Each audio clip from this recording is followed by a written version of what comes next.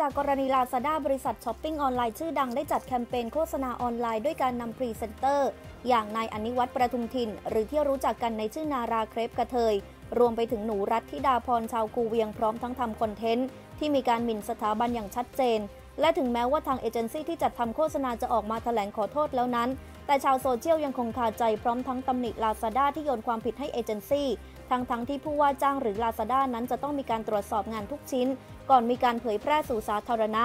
ต่อมาเพจศูนย์ช่วยเหลือด้านกฎหมายผู้ถูกล่วงละเมิดทางสังคมออนไลน์สชอโพสต์คลิปการออกมาชี้แจงของนาราแต่ดูเหมือนไม่ได้ทำอะไรให้ดีขึ้น พร้อมข้อความที่ทางเพจระบุว่า จากไลฟ์ชี้แจง นาราไม่ขอโทษ สิ่งที่นาราทำมีความตั้งใจจะทำภาพนี้ มีเจตนาที่จะทำแต่แรก แต่ไม่ได้บอกว่าแต่งเป็นใคร ทุกคนสามารถใส่ชุดไทยได้ และคนใส่ชุดไทยนั่งบน wheelchair มีเป็นพันๆคน ไม่ได้มีคนเดียว คุณโยงไปเองว่าเขาเป็นใคร ตัวนารายังไม่บอกเลยว่าเป็นคนนั้น พวกคุณโยงเองมีสิทธิ์ไรมาด่านารา แปลว่าพวกคุณแช่งกันเองให้เป็นคนนั้น คิดกันเองว่าคือใคร ให้หนูรัฐเป็นหม่อมแม่ นาราให้หนูรัฐเป็นหญิงเล็ก นาราให้หนูรัฐเป็นใคร นารายังไม่ได้ระบุเลย เออ เพราะสุดท้ายแล้วเนี่ย คุณอยากให้เขาเป็นอะไรคุณพูดเอง คุณไม่ได้มาสนใจคอนเทนต์ฉันคอนเทนต์ฉันเอาเซรั่มมาให้หม่อมดิวกับหนูรัฐนะ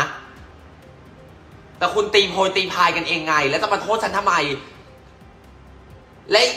กรณีตัวอย่างเนี่ยเขาไม่ได้นั่งปากจู่นะ เขาปากห้อย คนอื่นน่ะ เออและอีกอย่างหนึ่งนะคะ อันนี้นะต้องบอกคนแบบว่าเฮ้ย ไม่ได้แถนะคะ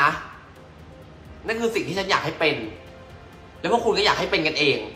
จะมานั่งบอกว่านาราแถ กูแถเรื่องอะไรอะ กูยังไม่ได้บอกเลยว่าหนูรัดเป็นใคร หม่อมดิวเป็นใคร ฉันเอาเซรั่มมาให้หม่อมรัดหม่อมดิวจบ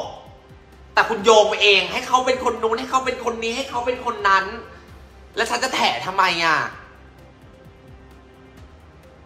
คุณคิดไปเองแล้วมานั่งบอก โอ๊ยฉันเสียใจ มันเหยียบย่ำหัวใจคนไทย เอาตรงไหมอะ ฉันยังไม่ได้บอกเลยว่าเขาเป็นใคร แล้วก็อีกกรณีหนึ่งนะคะ อันนี้นาราเข้าใจเลย ซึ่งหลายคนเนี่ยอันนี้นาราต้องกราบขอโทษ ที่คนจะบอกว่านาราเนี่ยเหยียบย่ำหรือว่าล้อเลียน คนที่พิการ ซึ่งจะบอกว่าจริงๆนาราไม่มีเจตนาที่จะเหยียบย่ำคนพิการ คนคอมเมนต์บอกว่า ผิดหวังในตัวนาราที่นาราช่วยคน ผิดหวังในตัวนาราที่นาราเนี่ย เคยช่วยคนมาก่อน ไม่ต้องมาผิดหวังในตัวนาราเพราะไม่ได้ช่วยอะไรนาราอยู่แล้ว นาราช่วยคนก็คือเงินของนาราเองไม่ต้องมาผิดหวัง และนาจะบอกเลยนะ นาราไม่มีเจตนาล้อคนพิการ นั่นคือการแสดงที่นาราทำบนโลกโซเชียล คนบนโลกโซเชียล โอเค มีชอบบ้างไม่ชอบบ้าง นารามึงล้อเลียนคนพิการ มึงเนี่ยต่อต้านให้สิทธิเท่าเทียมกันมาตลอด แต่ทำไมมึงถึงมาล้อเลียนคนพิการบูลลี่อย่างนี้ ซึ่งอันนั้นน่ะ คุณก็ตัดสินด้วยกันของคุณเอง แต่นาราอยากจะบอกว่า กระทั่งกลุ่มประสบนิกรปกป้องสถาบันเดินทางยื่นจดหมายถึงผู้บริหารลาซาด้า โดยเพจศูนย์ช่วยเหลือด้านกฎหมายผู้ถูกล่วงละเมิดทางสังคมออนไลน์สชอพร้อมด้วยภาคีเครือข่ายนำโดยนายนพดลพรมภาสิทธิ์เดินทางไปยังสำนักงานใหญ่ลาซาด้า อาคารภิรัชทาวเวอร์แอทเอ็มควอเทียร์ติดกับศูนย์การค้าดิเอ็มควอเทียร์ถนนสุขุมวิทแขวงคลองตันเหนือเขตวัฒนากรุงเทพ เพื่อทวงถามความรับผิดชอบของลาซาด้ากรณีทำการตลาดที่สร้างความขัดแย้งให้แก่ผู้คนในสังคม โดยลาซาด้าได้ส่งตัวแทนมารับหนังสือแต่ไม่ยอมบอกว่าเป็นตัวแทนจากส่วนไหนทำให้กลุ่มสจอยังไม่ยื่นหนังสือให้ เนื่องจากต้องการเจรจากับผู้ที่มีอำนาจตัดสินใจได้ และเกรงว่าหากให้หนังสือไปจะไม่ถึงมือผู้มีอำนาจในระดับการตัดสินใจ ทั้งนี้นายนพดลระบุว่า อยากให้หน่วยงานที่เกี่ยวข้องเข้าไปตรวจสอบภาษีของลาซาด้ารวมถึงสินค้าของนาราด้วย ว่าได้มาตรฐานหรือไม่ กระทั่งผ่านไป 30 นาทียังไม่มีผู้มีอำนาจของบริษัทลาซาด้า ลงมารับหนังสือร้องเรียน นายอัคราวุฒิไกรศรีสมบัติหรือเต้อาชีวะแกนนำกลุ่มอาชีวะปกป้องสถาบัน จึงได้ทำการฉีกหนังสือร้องเรียนต่อหน้าสื่อมวลชน พร้อมกับประกาศจะทำการแบนลาซาด้าเพื่อแสดงพลังของประสบนิกรชาวไทยให้เห็นว่า มีความสำคัญมากแค่ไหน อีกทั้งจะทำสงครามผ่านทางสื่อโซเชียลมีเดียอย่างชัดเจน โดยจะมีการเผาพริกเผาเกลือสาบแช่งบริษัทลาซาด้าที่ศาลหลักเมืองอีกด้วยครับสวัสดีครับ น่งอะไรมารับอะไม่ไม่ทราบอยู่เอาหน่วยตำแหน่งางนอะไรมารับอะเป็นตัวแทเป็นตัวแทนของลาซาด้า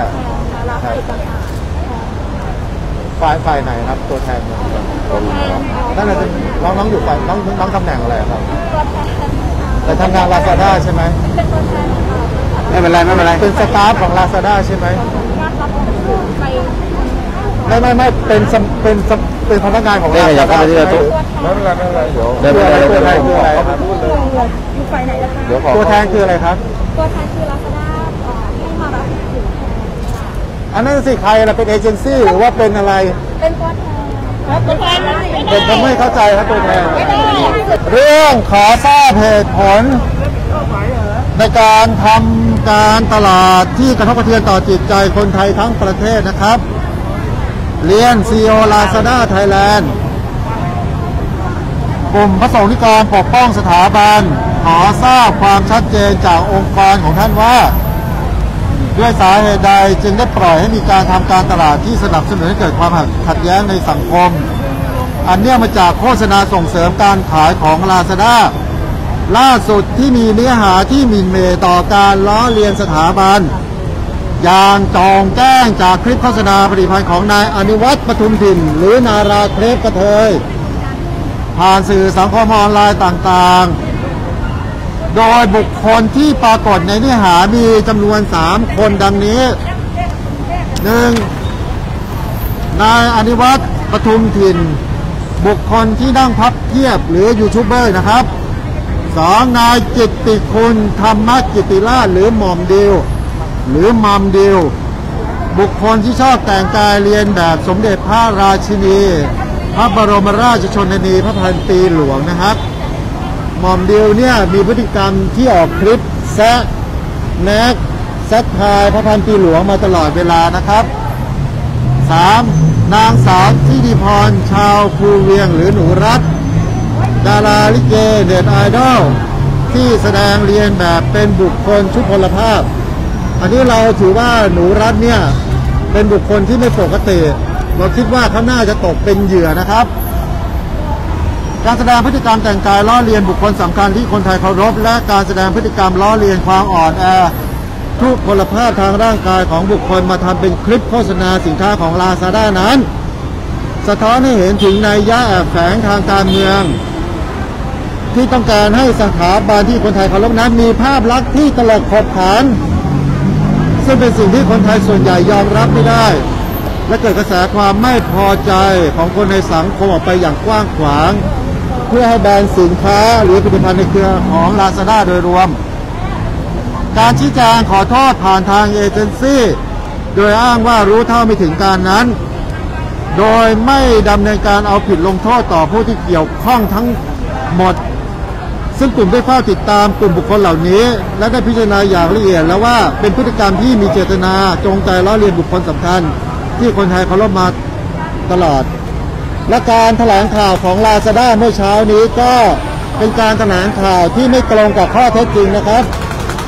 เมื่อเช้านี้ทางลาซาด้าออกแถลงการว่านาราเคปกระเทย แล้วก็เอเจนซี่ออกขอโทษแล้ว ซึ่งในความเป็นจริงเมื่อคืนที่นาราไลฟ์สดนั้นนาราไม่ได้ขอโทษ แล้วยังท้าทายต่อสิ่งที่ตัวเองได้ทำนะครับ ทางกลุ่มจะถือว่าทางลาซาด้ามีเจตนา สมรู้ร่วมคิดกับนายอนิวัฒน์ปทุมทินนายกิติคุณธรรมกิติราช และนางสาวธิรพรชาวภูเวียง เพื่อสร้างความกระทบถ้าทางลาซาด้าเนี่ยไม่ลงมาแสดงความบริสุทธิ์ใจอย่างแท้จริง เราก็จะจัดแคมเปญรณรงค์ให้แบรนด์ลาซาด้าไปทั่วประเทศนะครับ แล้วเสร็จจากการยื่นหนังสือที่นี่แล้ว เราจะไปไหนกันต่อเดี๋ยวคุณสิงห์ดำจะอธิบายครับอย่างไรก็ตามคลิปวิดีโอที่นาราทำนอกจากจะล้อเลียนเบื้องสูงยังถูกวิจารณ์ด้วยว่า เป็นการบูลลี่ผู้พิการหรือไม่ ทั้งนี้หากย้อนตรวจสอบไปก็พบว่า นาราเคยมีพฤติกรรมดูถูกผู้อื่นมาแล้ว ยกตัวอย่างเมื่อช่วงต้นปี 2564 สังคมออนไลน์ได้มีการเผยแพร่คลิปวิดีโอที่นาราเครปกระเทยถ่ายคลิปการสนทนา กับผู้ขี่จักรยานยนต์รับจ้างหรือวินมอเตอร์ไซค์ โดยนาราสอบถามว่ามีอะไรฝากถึงนายกไหม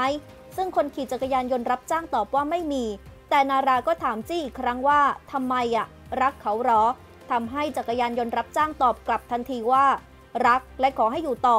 นาราจึงพูดว่าสาธุ ขอให้พี่ขับวินแบบนี้ตลอดไปนะ จะได้รวยๆ ภายหลังคลิปดังกล่าวเผยแพร่ออกไปได้มีผู้มาคอมเมนต์วิจารณ์นาราจำนวนมาก เนื่องจากมองว่า นารามีพฤติกรรมบูลลี่หรือไม่ เช่น ประชาธิปไตยคือการยอมรับการเห็นต่างนะคะ คนรุ่นใหม่ร้องหาความเท่าเทียมแต่เหยียดคนอื่น ไปถามความเห็นเขาแล้วเขาเห็นไม่เหมือนเราทำไมต้องไปเหยียดเขา เหยียดอาชีพ เห็นคนไม่เท่ากัน เหยียดความเห็นต่าง ไม่ยอมรับความหลากหลายทางความคิด นี่หรือ liberal มีอะไรจะฝากนายกไหมไม่มีครับทำไมอะรักเขาเหรอรักขอให้อยู่ต่อเลยครับนายก อะจริงเหรอจริง สาธุแล้วขอให้พี่ขับวินแบบนี้ตลอดไปนะ โอเคได้เลยรวย